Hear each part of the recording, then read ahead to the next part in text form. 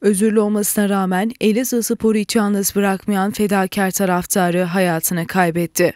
Güler yüzü, hayat dolu ve hepsinden önemlisi yaşadığı sağlık sorunlarına rağmen genç yaşta hayata bağlanan Elazığ Spor sevdalısı Okan Aydemir hayatının baharında 25 yaşında kalp krizi sonucu vefat etti. Okan için başta Elazığ Belediye Başkanı Şahin Şerifoğulları başta olmak üzere birçok siyasi, Elazığ Spor Kulübü ve sevenleri taziye mesajı yayımlayarak cenaze namazına iştirak ettiler.